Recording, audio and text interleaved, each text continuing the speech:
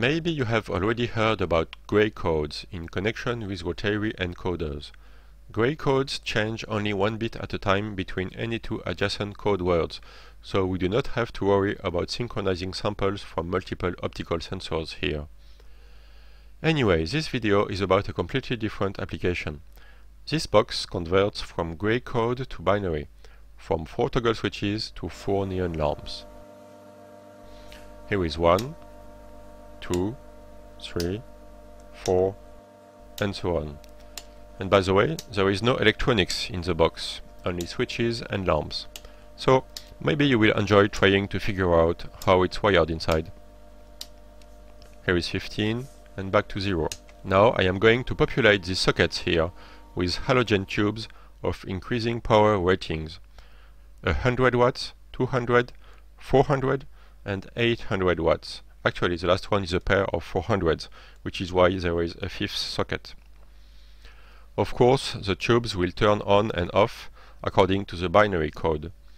So this device is actually a dummy load, which can be adjusted from 0 to 1500 watts.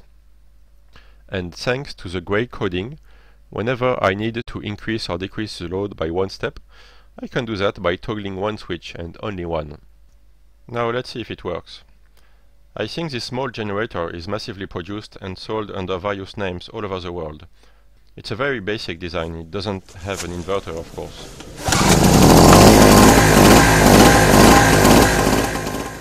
So the voltage and frequency depend entirely on the speed of the engine. The throttle is regulated mechanically.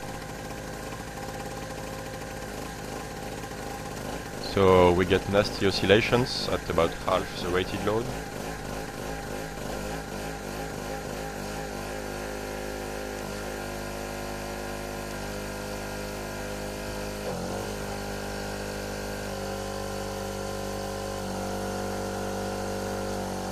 Above the maximum load the voltage drops as expected.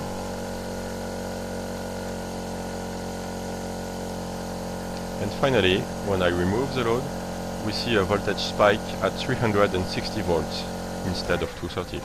That was expected as well, but it's good to know before you plug any sensitive electronic devices into these cheap generators. Well, that's all. I thought it was nice to bring gasoline engines and digital numbering systems together in the same project, and I hope you enjoyed it.